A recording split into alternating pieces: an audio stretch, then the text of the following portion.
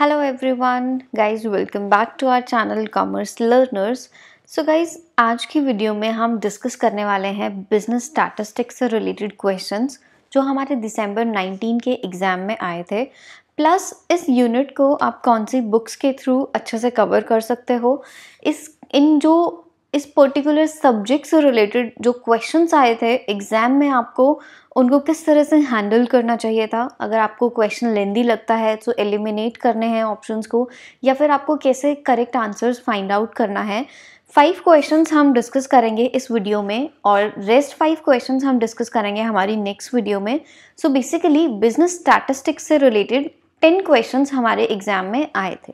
सो so guys हम शुरू करते हैं अपनी वीडियो प्लस उससे पहले हम एक बार अपना सिलेबस चेक कर लेते हैं और इनमें से ये देखते हैं कि भाई टेन क्वेश्चंस के टॉपिक्स क्या क्या थे। क्वेश्चन हमारा आउट ऑफ़ सिलेबस था या विद इन सिलेबस था हमें ये सब चीज़ें देखनी है। सो so, अगर मैं बात करूँ तो सेंट्रल टेंडेंसी से एक क्वेश्चन था। हमारे मेजर्स ऑफ़ स्क्विनस से रिलेटेड क्वेश्चन पुट ऑन हुए थे। कोरिलेशन और रिग्रेशन से रिलेटेड मुझे दो क्वेश्चन मिले हैं। एक क्वेश्चन हमारा प्रोबेबिलिटी से रिलेटेड नॉर्मल डिस्ट्रीब्यूशन से रिलेटेड क्वेश्चन फ्रेम हुआ है। प्लस रिसर्च की अगर हम बात करें तो research designs so I think एक क्वेश्चन हमारा इस वाले टॉपिक में से कवर हुआ है। एक टॉपिक बहुत ही ईजी सैम्पलिंग के मेथड से कि like non random sampling random sampling इस टाइप का क्वेश्चन था। प्लस एक क्वेश्चन हमारा टाइप ऑफ़ टेस्ट से रिलेटेड था। सो so, अगर मैं बात करूँ तो एग्जामिने एग्जामिनर ने बहुत ही अच्छे तरीके से बिज़नेस स्टैटिस्टिक्स के क्वेश्चन डिफरेंट डिफरेंट टॉपिक से फ्रेम किए थे। अगर लाइक like, जो स्टूडेंट्स पढ़ने वाले हैं जिन्होंने प्रीवियस ईयर अच्छे से कवर किए हैं जिन्होंने अपना सिलेबस जानवनली ईजी तरीके से अच्छे से कवर किया है उनके लिए बिज़नेस स्टैटिस्टिक्स को डील करना डिफ़िकल्ट नहीं होगा। आई थिंक ऐसा मुझे लगा। एक क्वेश्चन चेक करने के बाद इन क्वेश्चंस का एनालिसिस करने के बाद मुझे ये लगा कि भाई जिन स्टूडेंट्स ने मन करके मेहनत की थी ना वो easily ten out of ten seven questions attempt कर सकते थे। सो वन बाय वन हम क्वेश्चन डिस्कस करेंगे। इस वीडियो में हम फाइव क्वेश्चन डिस्कस करने वाले हैं। नेक्स्ट वीडियो में हम रेस्ट फाइव क्वेश्चन डिस्कस करेंगे। सो so गाइज़ शुरू करते हैं अपना first question so we have to match with list one to list two list one में हमारे पास टेस्ट गिवन है। लिस्ट टू में हमारे पास उनके बेसिक मीनिंग्स हम ये बोल सकते हैं गिवन है। So Z test ANOVA chi square test Kruskal Wallis test so guys देखो जब हमने ये टॉपिक किया था टाइप ऑफ़ टेस्ट का तो मैंने आप लोगों को एक बात बोली थी कि भाई ये टेस्ट जो भी है ना पैरामीट्रिक और नॉन पैरामेट्रिक टेस्ट ये इतने डिटेल में जितना आप करोगे, उतना थोड़ा कंफ्यूजिंग लगेगा ही लगेगा। सो आप लोग क्या कीजिए कि पहले तो फ़र्स्ट इंपॉर्टेंट थिंग कि कौन सा टेस्ट पैरामेट्रिक है, कौन सा टेस्ट नॉन पैरामेट्रिक है, आपको ये चीज़ देखनी है। सेकेंड थिंग इज़ कि भाई जो इनमें नॉर्मल फॉर्मूला है, वो देख लो। थर्ड इंपॉर्टेंट थिंग इज़ कि जो इनके बेसिक मीनिंग है, हमें वो देखना है। प्लस फोर्थ ये कि भाई कौन सा सैंपल साइज़ कब यूज़ होता है? कि लाइक कौन सा टेस्ट किस सैंपल साइज़ में यूज़ होता है? Large sample small sample so किस टेस्ट में कौन सा सैंपल साइज़ यूज़ होता है? लाइक like, अगर हम इन टेस्ट की ये चार चीज़ें देख लेते हैं सो so ईजिली जो क्वेश्चन हमारा टाइप ऑफ़ टेस्ट से फ्रेम होगा हम कर पाएँगे राइट right? सो so, जब मैंने आप लोगों की प्रिपरेशन करवाई तो मैंने जानवनली आप लोगों को ये बोला था कि आप बस इनका बेसिक देख लीजिए या फिर इन टेस्ट से रिलेटेड जितने प्रीवियस ईयर क्वेश्चंस थे ना सो so, ये क्वेश्चन सिर्फ़ वहाँ से ही फ्रेम हुआ है जिस नॉर्मल लैंग्वेज चेंज की गई है राइट right? सो so, इस क्वेश्चन को आप इजीली कैसे कर सकते थे वो देखो। फ़र्स्ट ऑफ़ ऑल हमें पता है कि भाई क्रूशल वॉलिस टेस्ट हमारा नॉन पैरामीट्रिक टेस्ट होता है। सो so, डी को जब हम थ्री से मैच करेंगे थ्री में साफ़ बोला है it is non parametric test right अब देखो अब हमें पता है कि भाई डी का थ्री होगा सो so हम कोड ए को और कोड थ्री को एलिमिनेट कर देंगे। नॉर्मल सी बात है। अगर मैं बात करूँ जेड टेस्ट की तो जेड टेस्ट बेसिकली हमारा लार्ज सैंपल साइज़ पे होता है। स्मॉल सैंपल साइज़ का टेस्ट नहीं है। सो so, जब मैं ए को टू से मार्च करूँगी सो बेसिकली इसमें ये लार्ज सैंपल साइज़ की बात कर रहा है। राइट सो जब मैं ए को टू से मैच करूँगी तो ऑब्वियसली मेरा ऑप्शन फोर्थ भी एलिमिनेट हो गया। राइट right आंसर मुझे अपना सेकंड मिल जाएगा। सो so गाइज़ ये छोटी सी ट्रिक थी कि आप क्वेश्चंस की फुल फुल स्टेटमेंट्स को डीपली एनालिसिस मत करो उनके शॉर्ट वर्ड्स देखो और उनको मैच करो तो आपका आंसर बिल्कुल करेक्ट मैच हो सकता है। Right right? सो so, ये क्वेश्चन लाइक मैंने एक बात देखी है कि लाइक मैंने लास्ट वीडियो बनाई थी बिज़नेस फाइनेंस पे सो उसमें भी ऐसा था कि इजीली हम दो ऑप्शंस को एलिमिनेट कर पा रहे थे और दो ऑप्शंस में से हमें करेक्ट आंसर फाइंड आउट करना था। सेम इसी तरह स्टैटिस्टिक्स में भी हो रहा है कि आप इजीली दो स्टेटमेंट दो ऑप्शंस को एलिमिनेट कर पाओगे और आपको दो में से सेलेक्ट करना होगा क्वेश्चन राइट सो गाइज़ ये क्वेश्चन बहुत ही ईजी था। जिन स्टूडेंट्स ने प्रीवियस ईयर क्वेश्चंस भी पढ़े होंगे ना, जिनको नॉर्मल भी पता होगा कि पैरामीट्रिक टेस्ट या नॉन पैरामीट्रिक टेस्ट कौन सा है, इस क्वेश्चन का आंसर देना उन स्टूडेंट्स के लिए काफ़ी ईजी रहा होगा। नेक्स्ट क्वेश्चन की बात करते हैं। Which of which two of the following statement are true so guys आप लोगों को क्वेश्चन बहुत ध्यान से रीड आउट करने हैं कि क्वेश्चन में हमें ट्रू फाइंड आउट करना है या क्वेश्चन में हमें फॉल्स फाइंड आउट करना है। सो so गाइज़ इस क्वेश्चन की अगर मैं बात करूँ, देखो स्टेटमेंट चार है, उनकी फर्दर कोडिंग्स दी हुई है सो मे बी आपको डिफ़िकल्ट लगे बट गाइज़ अगर आपने जानवनली सिलेबस को कवर किया है सो क्वेश्चन डिफ़िकल्ट नहीं था ये, देखो। स्टेप बाय स्टेप हम देखेंगे और स्टेप बाय स्टेप हम उनको एलिमिनेट करके चलेंगे, ठीक है? Standard deviation is independent of change of origin and change of scale so basically जब भी ये जो change of origin change of scale uh, मैंने इस टॉपिक पे एक ऑडियो बना के आप लोगों को समझाया था एग्ज़ाम्पल के थ्रू कि चेंज ऑफ़ ओरिजिन क्या होता है चेंज ऑफ़ स्केल क्या होता है right? और मैंने आप लोगों को बोला था कि ये जितने भी स्टेटमेंट्स आते हैं कि जैसे कॉफिशेंट ऑफ़ कोरिलेशन का रिग्रेशन का मीन का कि भाई कौन सा इंडिपेंडेंट होता है चेंज ऑफ़ ओरिजिन या स्केल आप सब एक जगह पे लिख लीजिए ताकि एग्ज़ाम टाइम में लास्ट में रिविजन करना इजी हो राइट सो सी स्टेटमेंट में बात हो रही है सिमेट्रिकल डिस्ट्रीब्यूशन की मतलब नॉर्मल डिस्ट्रीब्यूशन से रिलेटेड क्वेश्चन है ये भी हमारा बेल शेप डिस्ट्रीब्यूशन से रिलेटेड क्वेश्चन है सो so, पहले हम एक बार इनका थोड़ा सा डिस्कस कर लेते हैं फिर हम देखेंगे कौन सी स्टेटमेंट हमारी ट्रू है right right? So so guys अगर मैं बात करूँ नॉर्मल डिस्ट्रीब्यूशन के केस में या सिमेट्रिकल डिस्ट्रीब्यूशन के केस में Q D M D S D Q D stand for quartile deviation M D stand for mean deviation S T stand for standard deviation इन तीनों का क्या रिलेशन होता है? ये, इनका रेशो होता है ये। सो गाइज़ मैंने आप लोगों को क्या बोला था कि इसको इजीली आप कैसे याद करोगे? Q D M D H D दस बारह पंद्रह। सो इस चीज़ को आप तीन बार रिपीट करोगे ना तो आपके माइंड में ऐसा फिक्स हो जाएगा। आप इस रिलेशनशिप को एटलीस्ट कभी नहीं भूल पाओगे। और ये चीज़ हमने अपने डिस्कशन ग्रुप में डेफिनेटली होता है ना कि डिस्कस किया था। मैंने आप लोगों को बोला था ऑडियो के थ्रू कि आप इस चीज़ को याद कर लीजिए। एक छोटी सी स्टेटमेंट इसमें से फ्रेम हो सकती है। राइट? देखो अगर क्यू डी एम डी और एस डी हमारा इनका रिलेशनशिप है टिल ट्वेल्व और फिफ्टीन अब मैं अगर ये बोलूँ कि भाई क्यू डी जो हमारा होगा ये टेन बाई ट्वेल्व होगा एम डी ठीक है? ये हमारा मीन डेविएशन है। So it is five by six और अगर मैं बात करूँ क्यू डी अगर एस डी का इन दोनों का रिलेशनशिप क्यू डी और एस डी का इतना राइट right, ये हमारे एस डी से रिलेटेड है। सो so, इसमें से क्वेश्चन फ्रेम हुआ है। नॉर्मल सी बात है, एक बार हम इसका क्वेश्चन देखते हैं। In a symmetrical distribution mean deviation equals to four fifth of standard deviation देखो, अब हम इसको यहाँ पे ही करके देख लेते हैं। ठीक है, अब इसने बोला mean deviation is equal to mean deviation is equal to this standard deviation so ये हमारा थ्री से डिवाइड हुआ फोर बाय फाइव सो मतलब कि भाई ये हमारी करेक्ट स्टेटमेंट ये रिप्रेजेंट कर रहा है। अब देखो हमें पता है कि हमारी ये सी स्टेटमेंट एब्सोल्युटली करेक्ट है। सो so, जिस ऑप्शन में सी स्टेटमेंट नहीं होगी आप उसको एलिमिनेट कर दोगे। ठीक है? अब देखो अब हमें इनमें से फाइंड आउट करना है कि भाई हमारा कौन सा करेक्ट आंसर है। अब देखो या तो ए करेक्ट होगा या डी करेक्ट होगा। इट मीन्स कि बी स्टेटमेंट ऑटोमेटिकली रिजेक्ट हो रही है कि बी स्टेटमेंट करेक्ट नहीं होगी। ठीक है? अब डी स्टेटमेंट देखते हैं in a symmetrical bell shape distribution ये देखो सिमेट्रिकल किसको बोल रहा है? हमारे नॉर्मल डिस्ट्रीब्यूशन तो जो नॉर्मल होता है हमारा। Quartile deviation is one third of standard deviation so same ratio से हमारा ये क्वेश्चन हो रहा है। देखो कोटल डेविएशन हमारा है ten is one third of standard division standard division हमारा है फिफ्टीन राइट right? इसको जब हम फाइव से करेंगे तो ये टू बाय थर्ड आएगा। It means quartile division is two by third of standard division it means कि ये स्टेटमेंट इनकरेक्ट है, क्योंकि यहाँ पे ये वन थर्ड बोल रहा है। नॉर्मल सी बात है, जब मैं डी ऑप्शन को भी एलिमिनेट करूँगी तो मेरा ए और सी स्टेटमेंट करेक्ट आंसर हमारा आ जाएगा। अब अगर मैं ए स्टेटमेंट की बात करूँ और बी स्टेटमेंट की बात करूँ तो देखो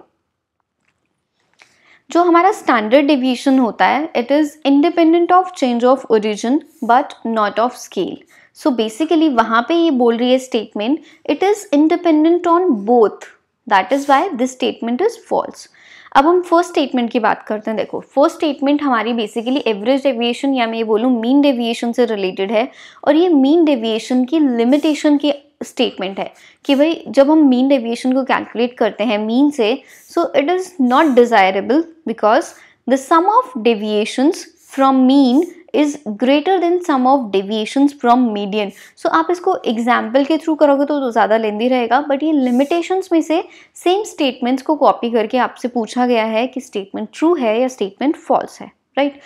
अब देखो फ़र्स्ट स्टेटमेंट हमारी फॉल्स हो जाएगी और थर्ड स्टेटमेंट हमारी फॉल्स हो जाएगी। राइट right आंसर हमारा होगा A and C right so guys देखो कि अगर आपको इन दोनों का भी नहीं पता था बट इस रेशियो के थ्रू आप ये क्वेश्चन बहुत ही ईजीली करेक्ट कर सकते थे। राइट सो नेक्स्ट क्वेश्चन पे मूव ऑन करता है। गाइज़ ये जो इमेज है बेसिकली ये हमारा सिमेट्रिकल डिस्ट्रीब्यूशन कर्व है। दिस इज़ पॉजिटिवली स्क्वीनस कि लाइक जब ये राइट right साइड में होता है और नेगेटिव जब ये लेफ़्ट साइड में होता है। सो so, इससे रिलेटेड एक क्वेश्चन और भी फ्रेम हुआ था वो हम आगे देखते हैं। Now the next question is which of the following is a non-random method of selecting sample from a given population? देखो सैम्पलिंग का मैं ये कहूँगी, बहुत ही इजी क्वेश्चन कि आपने पेपर वन की रिसर्च में भी पढ़ा होगा और ये इसमें भी गिवन है। अब टाइप्स ऑफ़ सैम्पलिंग की बात करें प्रोबेबिलिटी सैम्पलिंग जिनको हम रैंडम सैम्पलिंग भी कंसिडर करते हैं, इसके पार्ट्स होते हैं simple random stratified systematic cluster multi stage and multi phase sampling non probability sampling अगर इसका अनदर नेम की बात करें तो नॉन रैंडम सैम्पलिंग कि भाई जिनमें हम सैंपल को रैंडमली कलेक्ट नहीं करते हैं सो so इसके पास हैं कन्वीनियंट सैम्पलिंग हमारी जजमेंट सैम्पलिंग और कोटा सैम्पलिंग स्ट्राटाफाइड सैम्पलिंग हमारी प्रोबेबिलिटी की होती है सिस्टमैटिक हमारी प्रोबेबिलिटी सैम्पलिंग होती है और मल्टी स्टेज भी। कोटा सैम्पलिंग हमारे नॉन रैंडम मेथड है सैंपल को सेलेक्ट करने का पॉपुलेशन में से राइट सो राइट आंसर हमारा थर्ड हो जाएगा। नेक्स्ट क्वेश्चन देखते हैं। क्वेश्चन नंबर फोर हमारा which of the following statement is false guys देखो क्वेश्चन को केयरफुली रीड करना है फॉल्स स्टेटमेंट हमें बतानी है। सो so, ये क्वेश्चन है हमारा रिग्रेशन से कॉफिशंट कोरिलेशन और रिग्रेशन से related so value of coefficient correlation is one the two regression line coincide next statement is the regression coefficient are independent of change of origin and scale the sign of regression coefficient are always the same Square of coefficient of correlation is called coefficient of determination. देखो, जो हमारा are square होता है like like R हम represent करते हैं coefficient of correlation का तो इसको हम कॉफिशेंट ऑफ़ डिटर्मिनेशन बोलते हैं। ये बेसिकली बिल्कुल करेक्ट स्टेटमेंट गिवन है। We have to find out false statement so option number four को हम एलिमिनेट कर देंगे। Now the third statement is the sign of regression coefficient is are always the same so basically जो regression coefficients होता है हमारे P X Y B Y X कि भाई इनके साइन सेम होते हैं।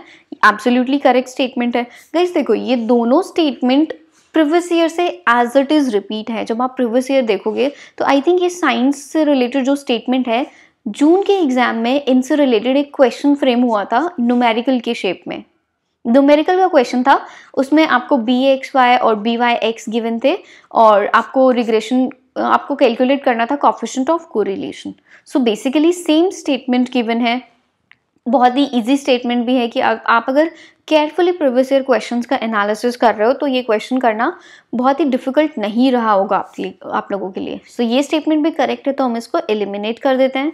Now regression line regression coefficients are independent on change of origin and scale देखो सो so बेसिकली जो रिग्रेशन coefficients होते हैं वो इंडिपेंडेंट होते हैं ओरिजिन के but not of scale guys ये ट्रिकी पॉइंट था कि जो रिग्रेशन कॉफिशंस की प्रॉपर्टीज़ गिवन है उनमें से आपको क्वेश्चन फ्रेम करके गिवन है कि आपने अगर वो टॉपिक रीड आउट किया होगा आपको टॉपिक अच्छे से आता है सो आप लोग आंसर दे पाओगे। सो so, ये हमारी फॉल्स स्टेटमेंट है सेकेंड राइट आंसर हमारा हो जाएगा सेकेंड आई होप आप लोगों को ये क्वेश्चन समझ में आया होगा। फ़र्स्ट स्टेटमेंट हमारी करेक्ट है बट हमें फॉल्स फाइंड आउट करनी है। सेकेंड आंसर हमारा राइट right आंसर होगा इस पर्टिकुलर क्वेश्चन के लिए।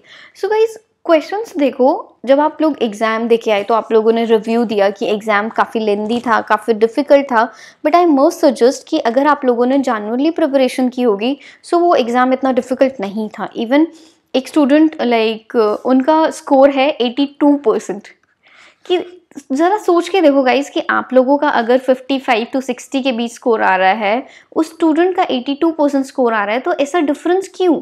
जस्ट डिफरेंस है कॉन्सेप्ट का कि उन्होंने उनके कॉन्सेप्ट क्लियर है प्रीवियस ईयर क्वेश्चंस का उन्होंने एनालिसिस किया है प्रॉपरली सारे सब्जेक्ट्स उन्होंने उन्होंने अच्छे से कवर किए हैं।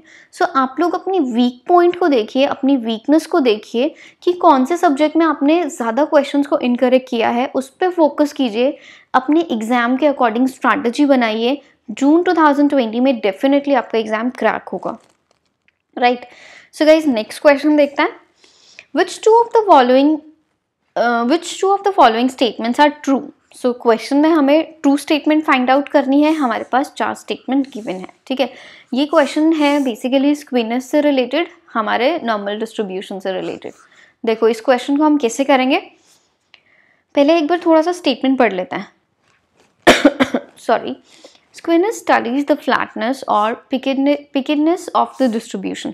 So basically हमारा डिस्ट्रीब्यूशन कर फ्लैट होगा या उसकी हाइट ज़्यादा होगी ये स्क्वेनस होती है? नहीं। ये होता है बेसिकली कर्टोसिस सो बेसिकली इसके अंडर में हम ये देखते हैं कि भाई हमारा नॉर्मल डिस्ट्रीब्यूशन फ्लैट है या हायर है राइट right? सो so, ये क्या होता है? कौन कौन से तीन कर्व होते हैं? इसके बारे में भी हम डेफिनेटली डिस्कस करेंगे आने वाली स्लाइड्स में।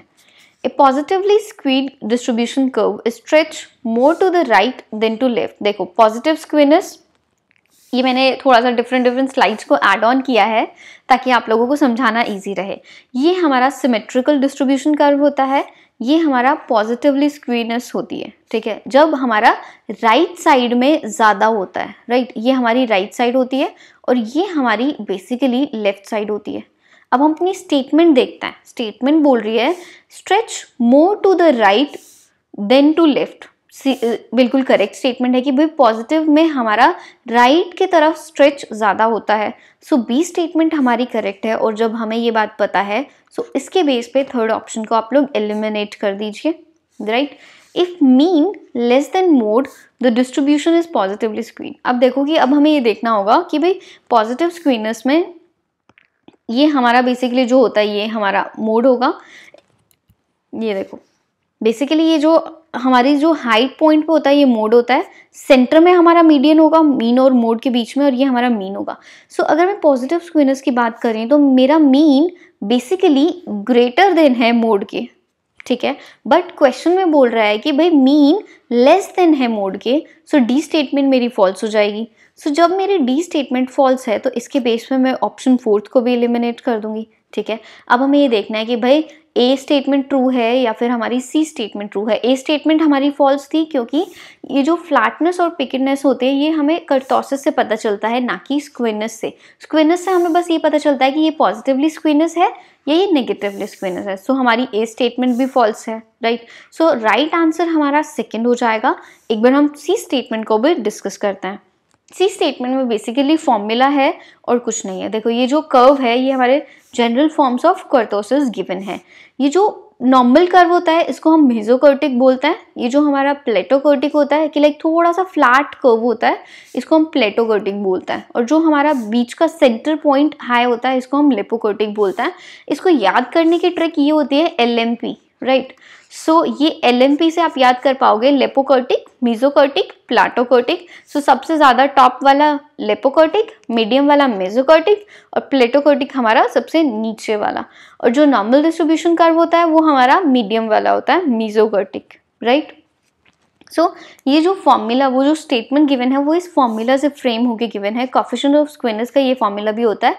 Three into mean minus median divide by standard deviation S D stand for standard deviation question देखिए.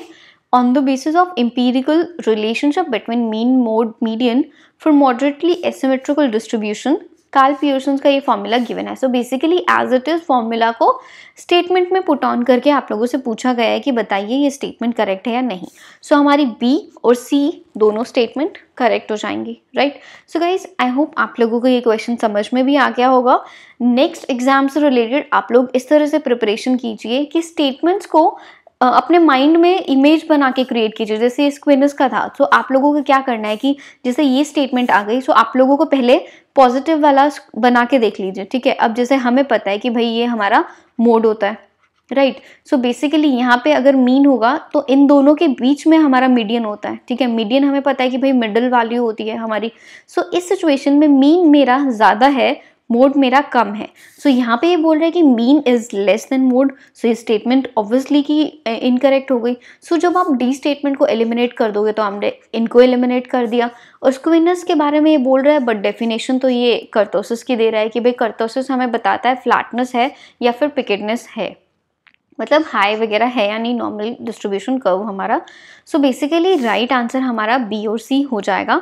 गाइज़ आई होप आप लोगों को ये क्वेश्चन अच्छे से समझ आया होगा। सो so, ये स्लाइड मैंने एड ऑन की है ताकि आपको अच्छे से समझ आ जाए। थ्री टाइप्स के हमारे कर्व होते हैं। मेजोकोर्टिक लिपोकोर्टिक प्लाटोकोर्टिक याद रखने का तरीका एल एम पी ईजिली आप याद कर पाओगे। सो so, थोड़ा शॉर्ट फॉर्म करके याद रखिए। स्टैटिस्टिक्स के इंपॉर्टेंट इंपॉर्टेंट टॉपिक्स भी अगर हम करते हैं so ten out of seven question cover करना उनको करेक्ट मार्क करना डिफ़िकल्ट टास्क नहीं होगा आप लोगों के लिए। Right. So guys thank you so much for watching this video. And uh, in case if you people are preparing for the next attempt so आप लोग मुझे contact कर सकते हो next batch के लिए. मे बी नेक्स्ट बैच हमारा जैसे ही हमारा रिज़ल्ट आएगा उससे रिलेटेड जो जो भी फीचर्स होंगे कुछ एडिशनल फीचर्स होंगे अब के बाद लास्ट टाइम के कंपैरिजन में वो आप लोगों को इन्फॉर्म कर दिए जाएँगे. So guys thank you and हमारा चैनल को सब्सक्राइब कीजिए. नेक्स्ट वीडियो में हम लेकर आने वाले हैं रेस्ट फाइव क्वेश्चन स्टैटिस्टिक्स के। बेसिकली ये फाइव क्वेश्चंस बहुत ही इजी थे। जो नेक्स्ट फाइव क्वेश्चंस होंगे, वो थोड़ा सा आपको डिफ़िकल्ट लग सकते हैं बट हम कोशिश करेंगे कि उनको डिटेल में कवर करें, ताकि आप लोगों के कॉन्सेप्ट भी क्लियर हो जाए। नेक्स्ट एग्ज़ाम के लिए आप लोग इन क्वेश्चंस को कैसे अप्रोच करेंगे थोड़ा सा माइंड में ये चीज़ भी क्लियर होनी चाहिए। Right so thank you so much every